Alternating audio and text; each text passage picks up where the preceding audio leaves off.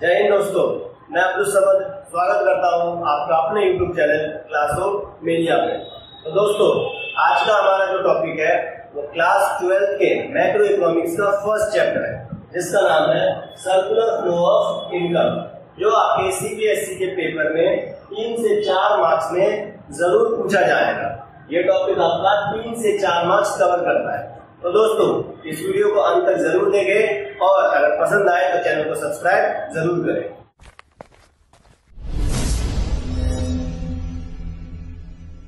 तो दोस्तों circular flow of income क्या होता है? इकोनॉमी में हम चीज़ों को जनरेट करते हैं। चीज़ों को जनरेट कैसे करते हैं? हमने कोई प्रोडक्ट बनाया और उस प्रोडक्ट को जब आप बाहर सेल करोगे तो आपके पास क्या आएगी? इनकम आएगी। तो सबसे पहले इकोनॉमी में क्या होता है? इनकम जनरेट होती है। जब आपने इनकम जनरेट कर दी तो उस इनकम को जनरेट करने के बाद आपको क्या करना होगा? जो इनकम है, उसको आपको डिस्ट्रीब्यूट करना है, जो फैक्टर ऑफ़ प्रोडक्शन उसमें यूज़ हुए तो पहला क्या हो गया? जनरेशन ऑफ़ इनकम और दूसरा its distribution among factor of production जब आपने इसको डिस्ट्रीब्यूट कर दिया तो डिस्ट्रीब्यूट करने के बाद जिन जिन लोगों के पास इनकम आई, वो उसको क्या करेंगे? खर्च करेंगे। इस फॉर्म में in the form of consumption expenditure तो दोस्तों सर्कुलर फ्लो ऑफ़ इनकम की डेफिनेशन क्या हो गई? It refers to cycle of generation of income क्या है दोस्तों? It refers to cycle of generation of income income generate हुई। Its distribution among factor of production उसको डिस्ट्रीब्यूट कर दिया गया। और फाइनली डिस्पोज डिस्पोज का मतलब खर्च करना या हटाना।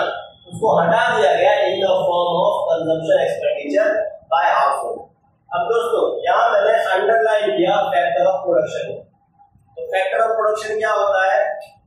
कुछ कुछ चीज़ें इसेंशियल होती है हमें चीज़ें प्रोड्यूस करने उन चीज़ों को बोला जाता है फैक्टर ऑफ़ प्रोडक्शन इकोनॉमी में जो फैक्टर ऑफ़ प्रोडक्शन होते हैं, वो चार होते हैं। कौन कौन से? एक होता है लैंड दूसरा होता है लेबर तीसरा होता है कैपिटल और चौथा होता है एंटरप्रेन्योर जब भी आप कोई चीज़ प्रोड्यूस करोगे या कोई चीज़ अगर आपको बनाना है तो सबसे पहले आपको क्या चाहिए? कोई ना कोई जगह चाहिए जहाँ पे आप चीज़ों को बना रहे हो। आप किसी से लैंड ले रहे हो उसके बाद जब आपने लैंड का इंतज़ाम कर लिया लैंड लेने के बाद आपको क्या चाहिए? वहाँ पे काम करने वाले लोग चाहिए। क्या चाहिए दोस्तों? काम करने वाले लोग। उनको हम क्या कहेंगे? लेबर अच्छा जब आपने लेबर ले लिया, फिर आपको बहुत सारा सामान चाहिए रॉ मटेरियल चाहिए लेबर को देने के लिए पैसे चाहिए। तो उन पैसों को क्या कहा जाता है? कैपिटल क्या कहा जाता है दोस्तों? कैपिटल तो हमें तीसरा क्या चाहिए?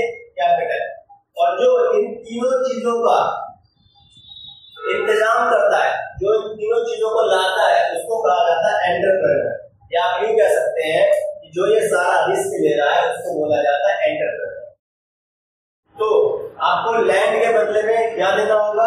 रेंट देना होगा। अगर आप यहाँ पे लेबर काम कर रहे हैं, उन लेबर को क्या देना होगा आपको? वेजेस देना होगा। और जो कैपिटल आपने लगाया है, उसके बदले में आपको क्या चाहिए? आपको चाहिए इंटरेस्ट और जो कंपनी का ओनर होगा वो ये सारी चीज़ें किस लिए कर रहा है? इन लोगों का इंतज़ाम किस लिए कर रहा है? ताकि उसको प्रॉफिट हो सके। तो दोस्तों सर्कुलर फ्लो इनकम के तीन फेजेस होते हैं। अच्छा ये किसी को नहीं पता कि इसमें पहला फ़ेज़ कौन सा होता है, कि कहाँ से स्टार्ट हुआ या कहाँ से खत्म हुआ। लेकिन हम ये मान के चलते इकोनॉमी में कि पैसे तो तभी आएँगे जब हमने चीज़ों को प्रोड्यूस किया है। तो हमारा पहला फ़ेज़ है प्रोडक्शन फ़ेज़ इसमें क्या होता है, हम प्रोडक्ट बनाते हैं और उस प्रोडक्ट के बनने के, जब हम उस प्रोडक्ट को बनाने के बाद बेच देते हैं तो उसको बेच के जो हमें पैसे आते हैं, उसको बोला जाता है जनरेशन ऑफ़ इनकम क्या कहा जाता है दोस्तों? जनरेशन ऑफ़ इनकम अब जैसे इनकम जनरेट हुई तो जो ओनर होगा या जो मालिक होगा, वो क्या करेगा? उस पैसों को डिस्ट्रीब्यूट करेगा। जितने भी उसके यहाँ वर्कर या लेबर काम कर रहे होंगे, वो उनको डिस्ट्रीब्यूट कर देगा। तो दूसरा फ़ेज़ क्या है? इनकम फ़ेज़ इनकम फ़ेज़ में क्या होगा? जो भी इनकम जनरेट हुई है इकोनॉमी में, उस इनकम को डिस्ट्रीब्यूट किया जाएगा वेरियस वेरियस लोगों में। और जब इनकम डिस्ट्रीब्यूट कर दिया जाएगा फिर लोगों की कुछ नीड होती है, कुछ डिज़ायर होते हैं, कुछ वॉन्ट्स होते हैं तो उन डिज़ायर या नीड को फुलफिल करने के लिए लोग क्या करते हैं, उसको खर्च करते हैं in the form of consumption expenditure जिसको कहा जाता है डिस्पोजिशन ऑफ़ इनकम तो दोस्तों सर्कुलर फ्लो ऑफ़ इनकम के कितने तीन फ़ेज़ होते हैं। पहला हो गया प्रोडक्शन फ़ेज़ जिसमें जनरेशन ऑफ़ इनकम होगा। दूसरा होगा इनकम फ़ेज़ जिसमें डिस्ट्रीब्यूशन ऑफ़ इनकम होगा। और तीसरा होगा एक्सपेंडिचर फ़ेज़ जिसमें डिस्पोजिशन ऑफ़ इनकम यानी इनकम को खर्च किया जाएगा दोस्तों, इस चैप्टर में अब दो टर्म्स आएँगे। एक को कहा जाता है स्टॉक और एक को कहा जाता है फ्लो इनको समझने के लिए एक एग्जांपल के थ्रू समझते हैं सपोज़ करो, आपके छत के ऊपर टंकी रखी हुई है। शाम को पाँच बजे पानी आना शुरू हुआ और पाँच बजे आपने क्या किया? टंकी में पानी भरना शुरू किया। पाँच बजे से लेके छह बजे तक। टंकी में आपने पानी भरा और छह बजे टंकी फुल हो गई। जो आपका टैंक था छत के ऊपर, वो छह बजे फुल हो गया।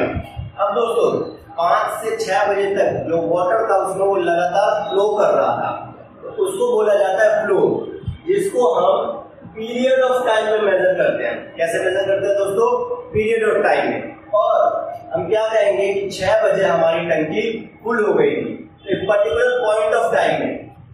ऐसे वेरिएबल जिसको आप पर्टिकुलर पॉइंट ऑफ़ टाइम में मेजर करते हो, उसको बोला जाता है स्टॉक और ऐसे वेरिएबल जिसको आप पीरियड ऑफ़ टाइम में मेजर करते हो, उसको बोला जाता है फ्लो दूसरा, इसका दूसरा डिफरेंस जो है it does not have time dimension इसमें टाइम डायमेंशन नहीं होता। क्यों? क्योंकि एक पर्टिकुलर पॉइंट ऑफ़ टाइम के लिए होता है फ्लो में टाइम डायमेंशन होता है। क्यों होता है? क्योंकि इसको हम मेजर करते हैं over a period of time तीसरा ये स्टैटिक कॉन्सेप्ट है। स्टैटिक का मतलब ये अनचेंजेबल कॉन्सेप्ट है।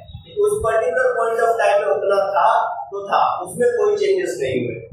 लेकिन फ्लो जो है, वो एक डायनामिक कॉन्सेप्ट है। डायनामिक कॉन्सेप्ट का मतलब विच कैन बी चेंजेबल जिसको चेंज कर सकते हैं। पाँच से छह के बीच में, पहले टंकी आधी भरी होगी, फिर पूरी भरी होगी और छह बजे लास्ट में जाके टंकी फुल हो गई। ऐसे इसका एग्जांपल देख रहे दोस्तों इंडिया की पॉपुलेशन इकतीस तीन दो हज़ार बीस को, यानी इकतीस मार्च दो हज़ार बीस को इंडिया की पॉपुलेशन कितनी थी?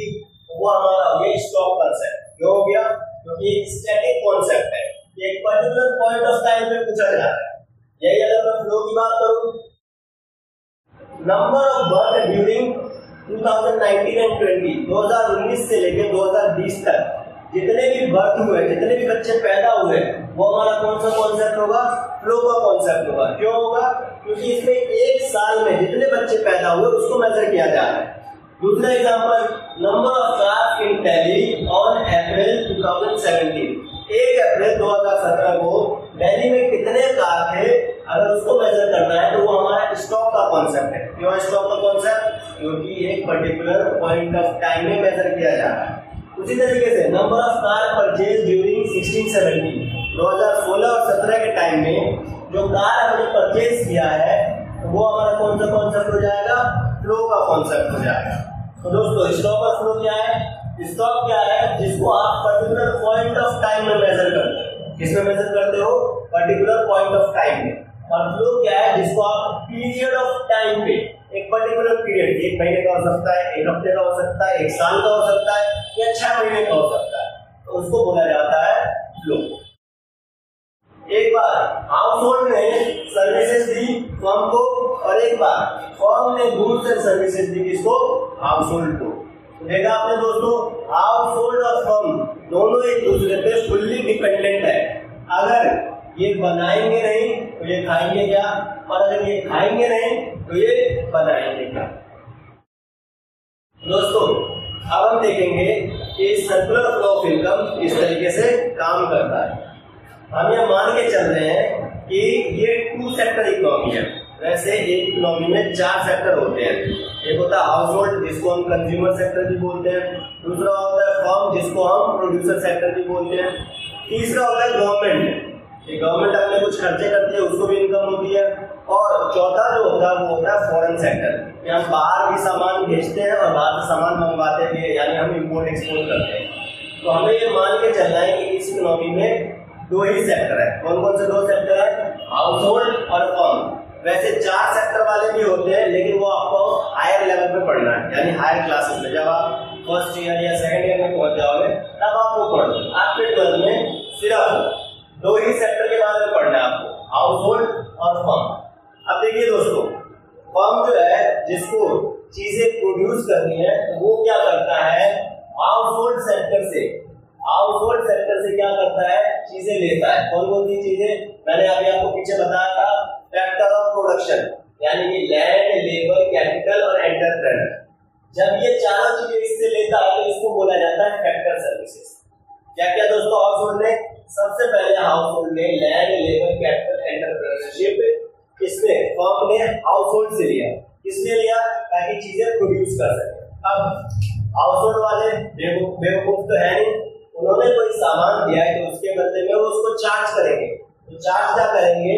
फर्म जो है, उसके बदले में लैंड के बदले में रेंट लेबर के बदले में वेजेस कैपिटल के बदले में इंटरेस्ट और एंटरप्रेनर के बदले में प्रॉफिट देगी जिसको कहा जाता है फैक्टर पेमेंट तो देखा आपने दोस्तों, इसने इसको सर्विसेज़ दी फर्म को और फर्म ने उसके बदले में पेमेंट किया. अब हाउस होल्ड यानी हम लोग, जिसके पास पेमेंट आया